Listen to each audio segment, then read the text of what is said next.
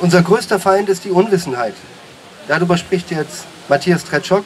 Er ist Journalist, Gründer der Friedensinitiative Stop the War in Jemen und der Kampagne Sag Nein zur NATO. Ein Applaus für Matthias Tretschok. Bitte.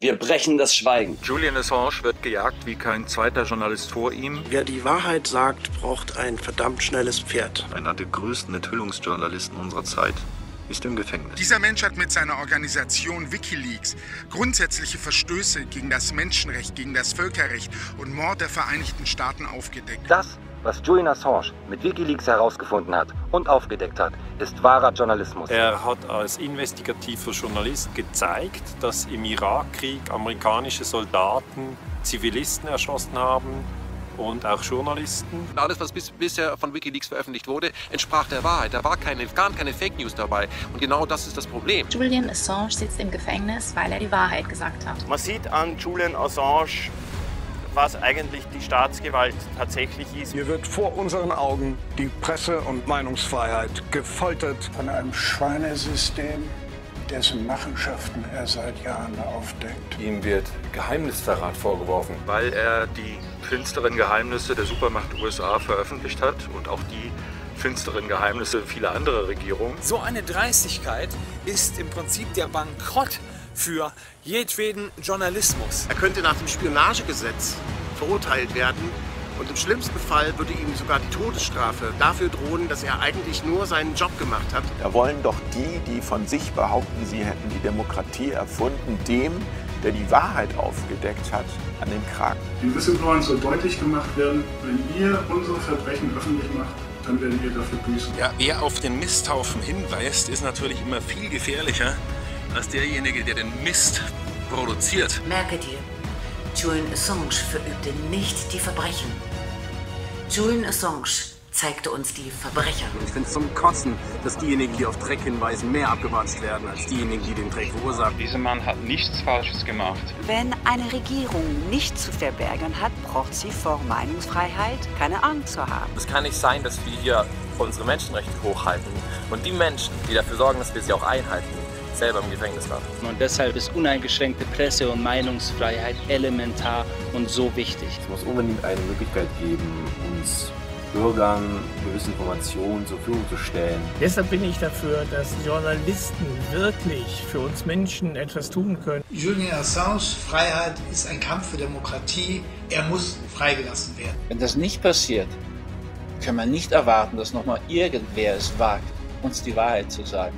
Dafür müssen wir mit einer kritischen Öffentlichkeit sorgen und dafür müssen wir solidarisch sein mit Julian Assange. Wir müssen uns vor allen Dingen zusammentun für eine gemeinsame friedliche Lösung. Das ist wichtig. Meinungsfreiheit bedeutet aber auch, dass man selber aufsteht und den Mund aufmacht. Wenn wir etwas aus unserer Geschichte gelernt haben könnten, dann das, dass wir nicht wegschauen oder schweigen, wenn anderen Menschen vor unseren Augen himmelschreiendes Unrecht angetan wird. Deswegen volle Solidarität mit Julian Assange. Wir sind nicht nur für das verantwortlich, was wir tun, sondern auch für das, was wir widerspruchslos hinnehmen. Da sollten wir alle die Stimme erheben. Wir fordern die Freilassung von Julian Assange.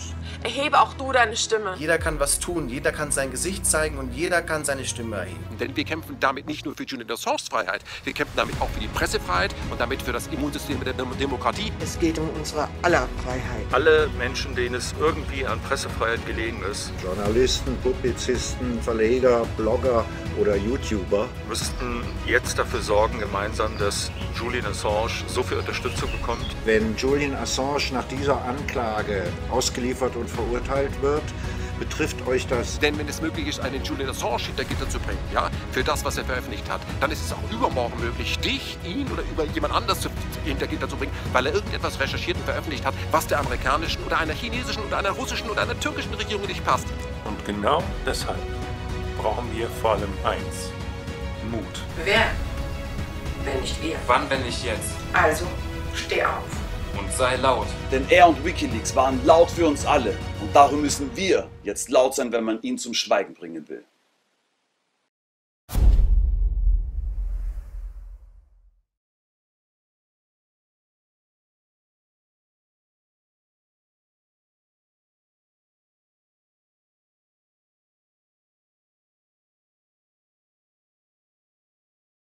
Das Video ist veröffentlicht worden am 12. August diesen Jahres und per gestern hat dieses Video 86.000 Klicks erhalten. Ein wunderbarer, ein faszinierender Erfolg Social Media mäßig. Äh, mein ganz besonderer Dank zunächst erstmal gilt an Patrick, dass er so frei war und mich unter anderem heute auch mal als Redner, als Rednergast eingeladen hat. Mein ganz besonderer Dank geht auch zunächst erstmal auch an Heike Hensel, weil es, glaube ich, ganz, ganz wichtig ist, dass auch Politiker, die im Bundestag zu beschäftigt, sehr beschäftigt sind und äh, dort jeden Tag auch Reden halten, dass auch sie hier Gesicht bei den Menschen vor Ort zeigen. Das ist nicht so selbstverständlich. Vielen, vielen herzlichen Dank. Und mein nächster ganz, ganz großer Dank geht natürlich an Sie, die hier dastehen. Mittlerweile seit Monaten hier vor dem Brandenburger Tor. Und liebe Berliner Gäste, das sind die Menschen, die seit Monaten hier Gesicht zeigen für Julian Assange, für Chelsea Manning und Edward Snowden. Und das braucht nochmal einen ganz großen, lauten Applaus. Und wenn ich wenn ich an 1987 denke, an diesem historischen Ort, nur 50 Meter weiter, da hat Ronald Reagan damals der Welt verkündet oder eine Botschaft an Michael Gorbatschow gerichtet, die hieß, Mr. Gorbatschow, stürzen Sie diese Mauer ein. Und heute, 32 Jahre später, stehen wir an selbiger Stelle und heute geht unser Ruf in die Welt, Mr. Trump, lassen Sie Chelsea Benning, Julian Assange und Edward Snowden frei. Im Jahr 2011 führte RT ein Interview mit Julian Assange und ich möchte daraus zitieren. RT fragt Assange und zu guter Letzt Julian, das ist eine von vielen Fragen, Wen sehen Sie als Ihren Feind Nummer eins an? Ja, sagt Assange, unser größter Feind ist Unwissenheit. Und ich glaube, das ist der größte Feind für alle. Er versteht nicht, was in der Welt tatsächlich vor sich geht. Erst wenn Sie anfangen zu verstehen, können Sie effektiv Entscheidungen und effektive Pläne treffen. Nun stellt sich die Frage, wer die Ignoranz fördert. Nun, jene Organisationen, die versuchen, Dinge geheim zu halten und jene Organisationen, die wahre Informationen verfälschen und sie falsch darstellen. In dieser letzten Kategorie handelt, sich, handelt es sich um schlechte Medien. Und Assange sagt weiter, ich bin wirklich der Meinung, dass die Medien im Allgemeinen so schlecht sind, dass wir uns fragen müssen, ob die Welt ohne sie überhaupt nicht besser daran wäre. Sie sind so verzerrend, wie die Welt tatsächlich ist. Das Ergebnis ist, wir sehen Kriege und wir sehen, dass korrupte Regierungen weiterhin bestehen. Eines der hoffnungsvollsten Dinge, die ich entdeckt habe, ist, dass fast jeder Krieg, der in den letzten 50 Jahren begonnen hat, ein Ergebnis von Medienlügen war. Die Medien hätten es stoppen können, wenn sie tief genug gesucht hätten, wenn sie die Regierungspropaganda nicht nachgedruckt hätten, hätten sie aufhalten können. Aber was heißt das? Das bedeutet, dass die Bevölkerung Kriege grundsätzlich nicht mag und dass die Bevölkerung in Kriege hineingetäuscht werden muss. Die Bevölkerung geht nicht bereitwillig mit offenen Augen in einen Krieg. Wenn wir also ein gutes Medienumfeld haben, dann haben wir auch ein friedliches Umfeld. Zitiert 2.5.2011 RT Wikileaks Enthüllungen nur Spitze des Eisberges Assange und dieses komplette Interview finden Sie auf dieser Seite unter Julian Assange. Das ist keine Facebook-Seite, sondern das ist eine richtige Webseite. Das heißt, die spricht und erreicht auch Leute, die außerhalb der Facebook-Community unterwegs sind. Viele dieser Organisationen links in der Spalte sind nur durch Facebook-Seiten vertreten, aber eben nicht im internationalen WWW. Und Ähm, wer heute vielleicht die Möglichkeit hatte, im Fernsehen das EU-Parlament zu verfolgen, da ging es darum, dass die EU-Parlamentarier und natürlich auch die dahinterstehenden Parteien, auch von Deutschland, die Türkei mächtig kritisiert hat. Ja und zu Recht. Wenn die Türkei in Syrien einen völkerrechtswidrigen Krieg beginnt, einen Einmarsch vornimmt, dann ist das zu kritisieren. Es sind aber dieselben Politiker, es sind dieselben Parteien, die ganz leise sind gegenüber Israel, die seit 1967 die palästinensischen Gebiete besetzt haben, völkerrechtswidrig. Dieselben Politiker sind ganz leise, wenn es darum geht, dass Marokko seit roundabout 46, 47 Jahren die Westsahara völkerrechtswidrig annektiert hat, wo Hunderttausende von unschuldigen Zivilisten seit Jahrzehnten in Algerien ihr Leben darben. Und sie sind genauso still und leise gegenüber, ihren eigenen, gegenüber ihrer eigenen Beihilfe am Völkermord und Kriegsverbrechen im Jemenkrieg, indem sie dieses abartige, korrupte Khashoggi-Mörder, Kindermördersystem Bin Salman auch noch mit Waffen beliefern. Und sie sind laut gegenüber Russland und Putin im Sinne der Krim. Und sie sind laut und direkt gegenüber Erdogan, wenn es um die Türkei geht. Das ist ein Offenbarungseid an Verlogenheit, an Scheinheiligkeit, an Doppelmoral, und wenn diese Politiker davon reden, von Menschenrechten, von Frieden, Freiheit, Demokratie, dann glauben sie den Menschen nicht, weil das entspricht nicht der Wahrheit. Sie vertreten nicht diese hohen Werte, sie vertreten nur ihre eigenen ureigensten Interessen, aus welchen Gründen auch immer. Und deswegen ist es so wichtig, dass wir uns alle heute wieder hier auf dem Pariser Platz zwischen den Botschaften der USA und Frankreich, das stellvertretend für diese korrupte, für dieses korrupte Gebilde und politische Arm geheimer Machtstrukturen, was sich Europäische Union nennt, eingefunden haben, um den Machteliten zu zeigen, dass wir eben nicht mehr so unwissend sind, wie sie es gerne hätten und ihre perversen Kriegstreibereien durchschaut haben.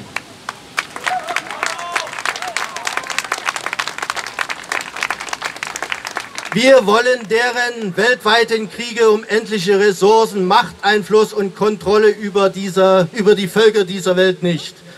Wir wollen nicht, dass nach zwei verheerenden Weltkriegen weitere Generationen unserer Mütter und Väter, Töchter und Söhne und liebgewonnene Freunde, egal wo auf dieser Welt, für die Interessen einer irrsinnigen Kriegsmaschinerie und einer Handvoll durchgeknallter Machteliten ins Feld ziehen und sich gegenseitig abschlachten.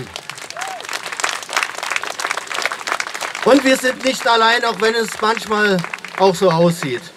Tausende Menschen sind jede Woche irgendwo auf den Straßen dieser sogenannten westlichen Wertegesellschaft, so wie wir heute, um gegen die Ungerechtigkeiten ihrer Regierungen, gegen Ausbeutung, Verarmung, Kriege, Zerstörung und die Freiheit von Chelsea Manning, Julian Assange respektive Edward Snowden einzutreten, die sinnbildlich für alle Aktivisten dieser Welt stehen, die für Meinungsfreiheit, Frieden, Freiheit, Menschenrechte und für echte gesellschaftliche Mitbestimmung einstehen und dafür in aller Öffentlichkeit Gesicht zeigen.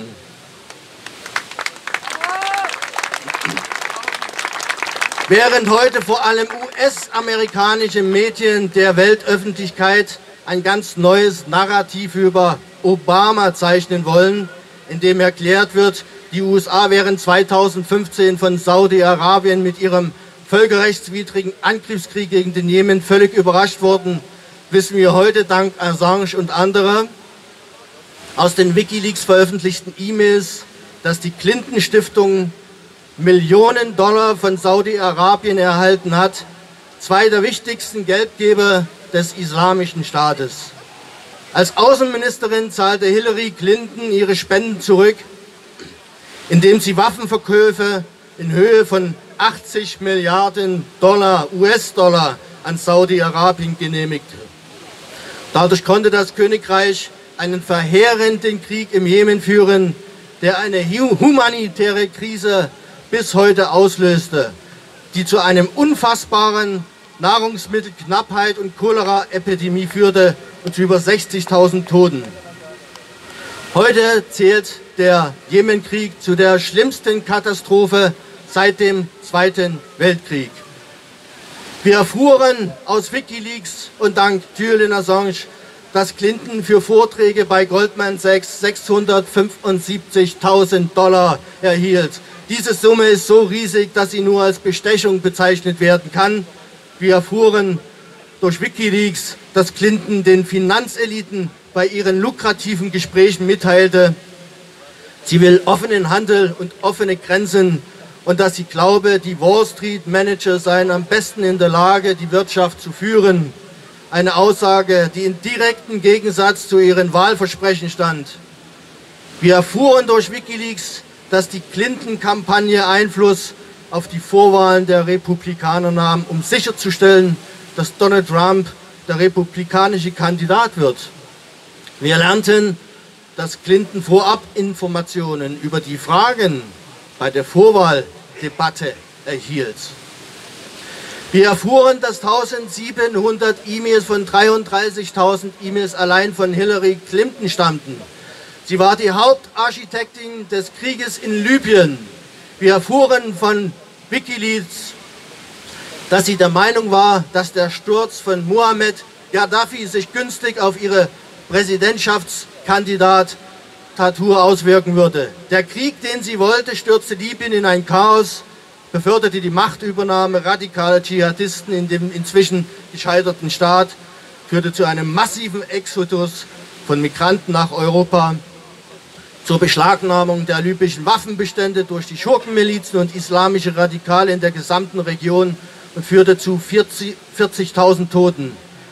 Sollten diese Informationen etwa der amerikanischen Öffentlichkeit verborgen bleiben, Sie können das bejahen, aber dann können Sie sich selbst nicht als Journalist bezeichnen. So schreibt Chris Hedges, Julian Assange wird ans Messer geliefert auf Nachdenkseiten vom 19.11.2018, ebenfalls zu finden auf dieser Seite unter Julian Assange.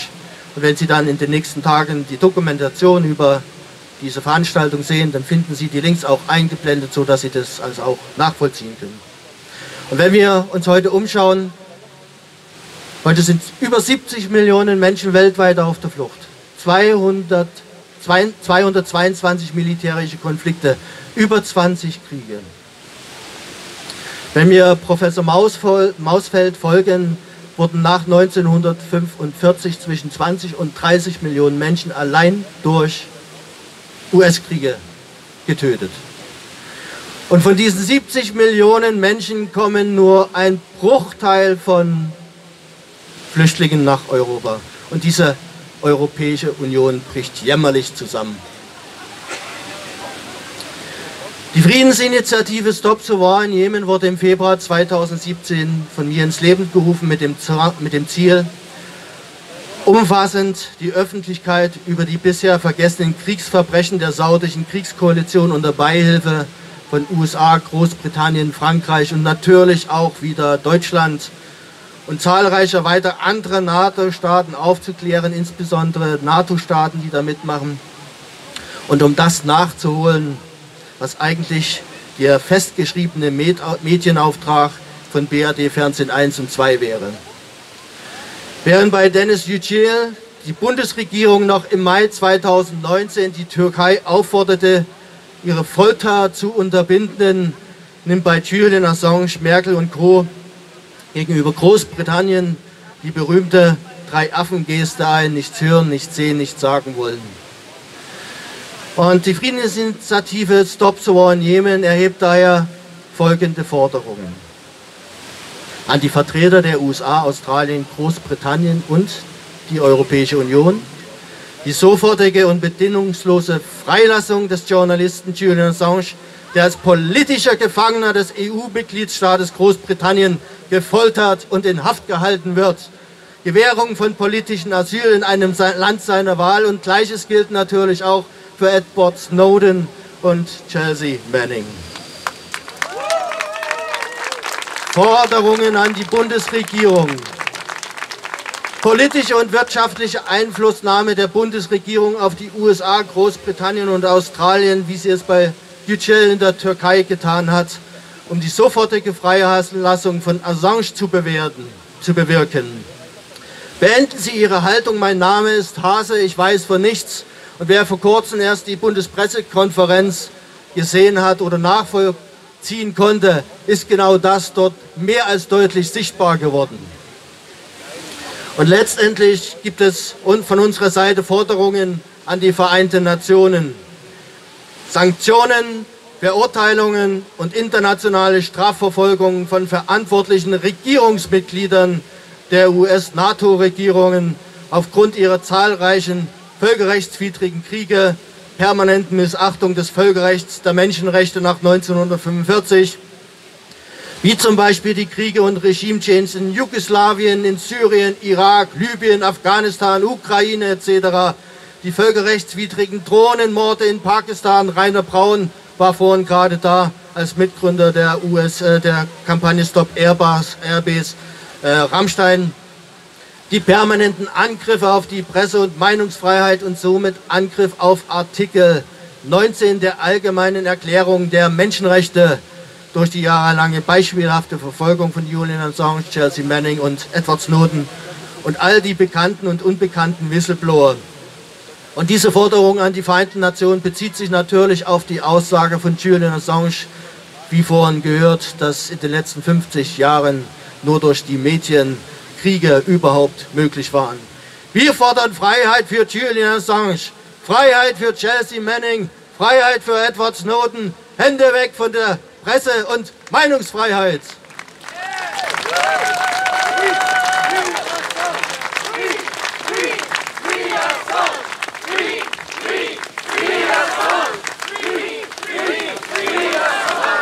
Und ich möchte Sie noch gern einladen zu zwei wichtigen Veranstaltungen. Einmal die Veranstaltung am 4.11. Äh, Sagt Nein zur NATO. Wir haben ja, das betrifft uns übrigens alle. Wir haben ja wieder die US-Truppen, die aus den USA durch ganz Westeuropa geschippert werden, transportiert werden, durch die Länder Ostdeutschlands bis an die Grenzen Russlands. Da findet am 4.11. hier, und zwar dort vorne, 50 Meter weiter, mit demselben Wagen von Ingo, eine Sondermahnwache statt äh, zu dem Thema Atlantic Reserve. Und da sind Sie herzlich eingeladen mit all Ihren Schildern von Julian Assange weil es ist natürlich auch in Ihrem Interesse und Sie haben dort nochmal die Möglichkeit, ebenso Ihren Protest zu erheben gegen die US-Regierung mit Ihren Forderungen Freiheit für Julian Assange. Und am 14.12. gibt es eine Veranstaltung im Haus Neues Deutschland. Das ist die Berlin-Jemen-Konferenz 2019. Da sind nur 100 Plätze leider zur Verfügung. Das heißt, da geht es also mit Anmeldung und wer also Interesse hat, das Thema Krieg im Jemen, der seit 26. März 2015 stattfindet, da mehr erfahren zu wollen, der Link liegt dann in der Dokumentation mit bei. Wenn Sie Lust haben, Interesse haben, melden Sie sich an. Wir freuen uns, dass Sie da sind, zuhören. Vier Stunden geht es von 14 bis 18 Uhr. Und dort würden wir uns dann also bei diesen zwei Veranstaltungen, wenn Sie dann mit dazukommen, würden wir uns dann wiedersehen. Vielen herzlichen Dank Ihnen. Vielen Dank, Matthias.